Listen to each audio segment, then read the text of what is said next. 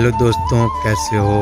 आप सभी बढ़िया होंगे, आशा करता हूँ। तो मैं आज आ चुका हूँ ठरेश्वरी मंदिर उरई जो कि हनुमान जी का मंदिर है। यह बहुत ही प्राचीन मंदिर है। तो जैसा कि आप देख पा रहे हैं, मैं मौजूद हूँ मंगलवार है आज। तो आज यहाँ पर बहुत भीड़ होती है दोस्तों। तो मैं शाम के समय मौजूद हूँ।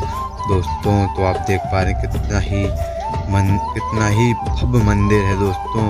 इसकी क्या मानत, क्या मैं बताऊँ? यहाँ पर कितना विशाल मेला लगता है बड़ो मंगल को। अगर आपने यहाँ पर मेला नहीं देखा हो तो एक बार यहाँ का मेला ज़रूर देखें। बड़ो मंगल पर लगता है। तो हम वीडियो को स्टार्ट करते हैं, क्योंकि वीडियो अंदर बनाना अलाउ नहीं है तो हमने चोरी से बनाया है।